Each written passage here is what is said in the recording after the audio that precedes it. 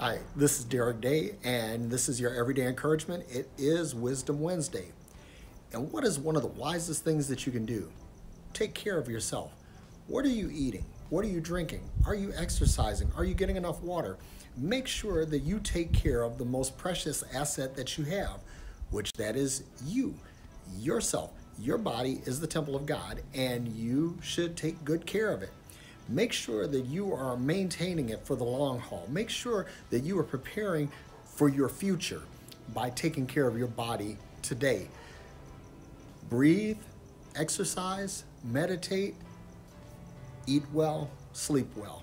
Take care of yourself. That's what I have for you today. If this video blesses you, please consider sharing it.